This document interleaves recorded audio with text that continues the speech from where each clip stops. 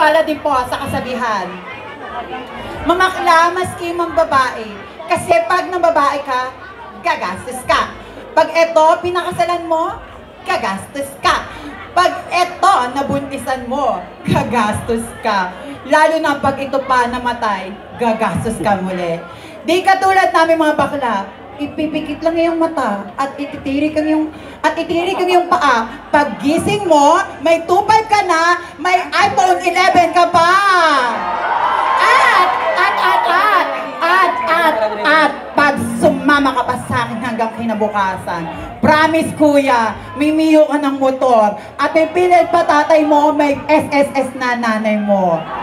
At bago ko lisanin ang tatlo ay apat na sulok ng tablado ito, pwede niyo po ba pabayaan kumanta?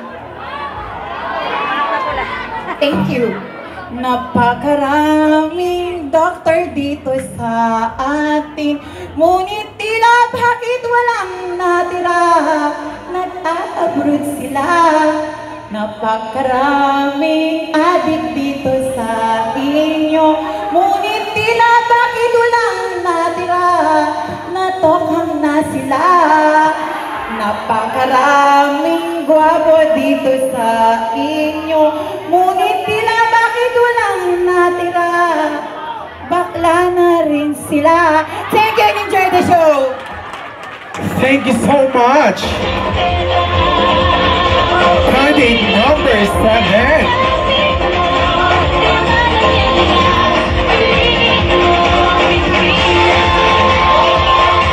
Siya po ang may-ari ng manok na tula. Ayan. Pag hinanap niyo yung manok na tula, siya po yan. Si manok na pula Tarap. Next, candidate contestant number 8.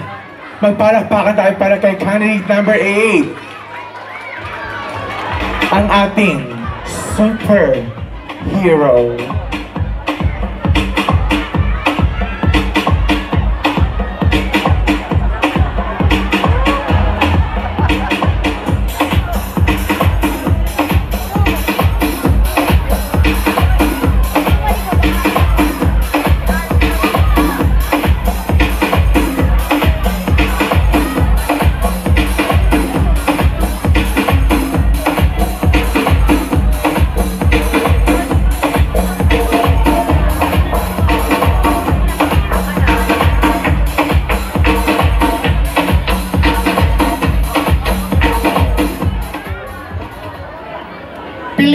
Ang mga bagay na nagpapasaya at magpapasaya sa'yo because at the end of the day, you might be realized that you choose right because you choose to be you and you choose to be happy.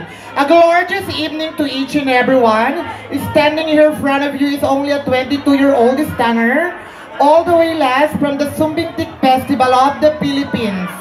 Cainta, Rizal, particularly in Barangay San Juan, and I graduated Bachelor of Science in Entrepreneurship in Polytechnic, University of the Philippines San Juan Campus.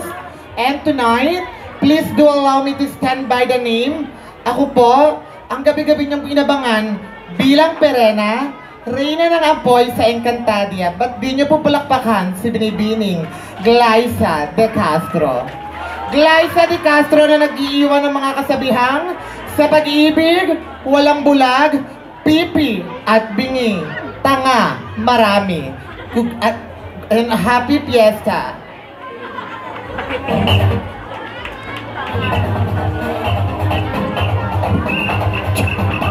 Thank you, candidate number 8, Miss Liza, Liza De Castro.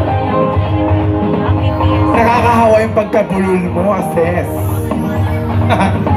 Ayan, our last contestant, candidate number 9, Jana Marie Santillan.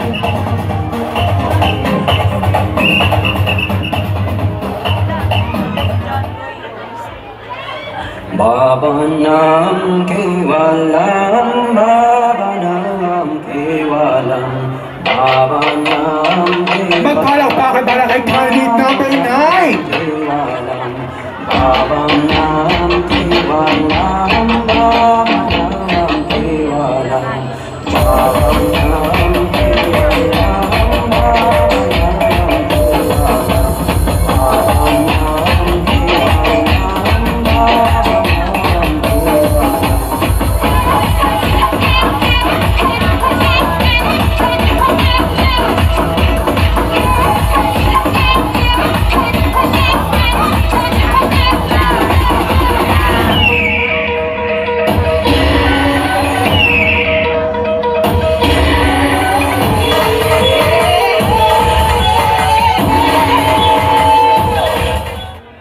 Pag hindi humiyaw, mamamatay ang nanay!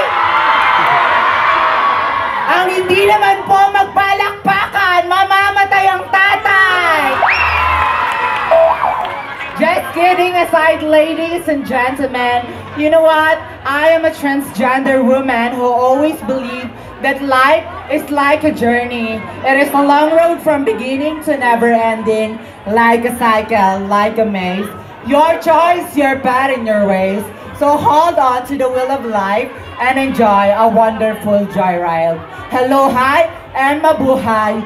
Yes, indeed, that tonight I may not be your super Serena Queen of the Day, and I may not be your daily contestant of Miss Q&A. But I am very proud to say na opo, minsan yun na nga po akong napanood sa palabas na kapuso mo, Jessica Soho. Ako po, ang batang na-discovering batang kondisera sa gabi at estudyante naman po sa umaga.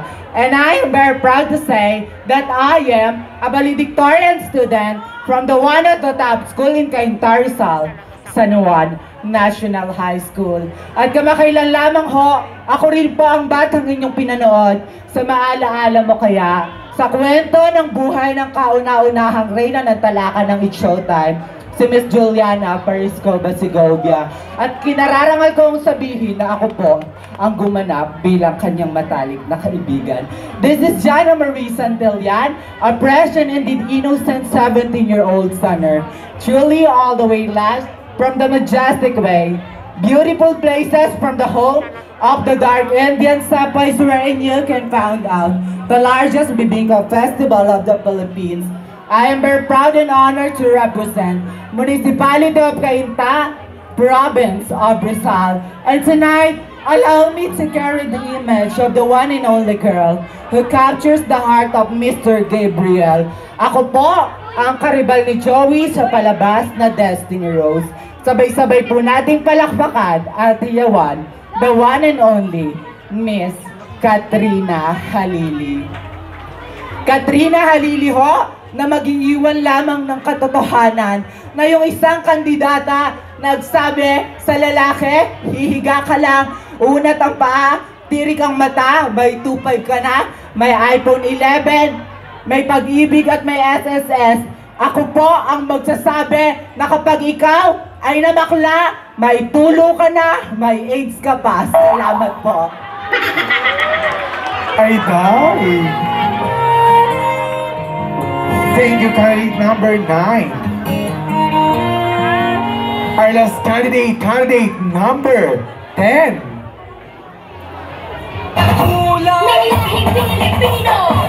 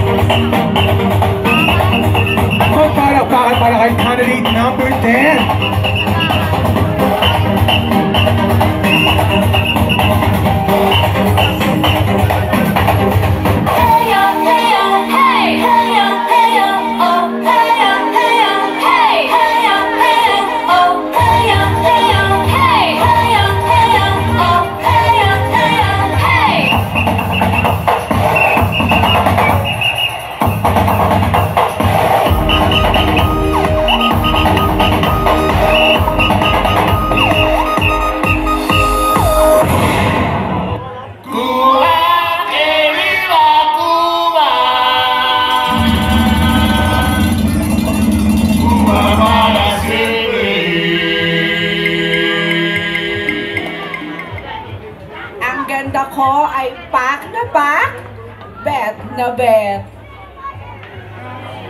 Love is the greatest gift of God. Ladies and gentlemen, ako po ang nakaalita ni candidate number 4, Julia Barreto. Opo, ako nga po, si Binibining Bea Alonso. Bea Alonso na nagsasabing, Paningin niyo na po ang bagong gising. Wag lang po ang adik na nabitin. Thank you so much.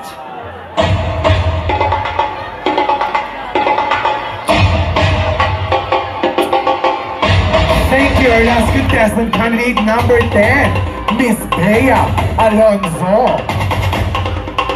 Ayan, masamang mabitin.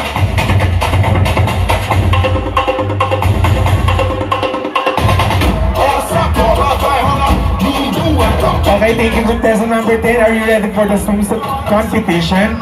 Okay, before anything else, bago po natin tapusin ang ating pagpatuloy ang ating mga programa ngayong gabi, pagsilatayin natin ang ating nag napakasipag at napakabait na barangay captain ng barangay San Martin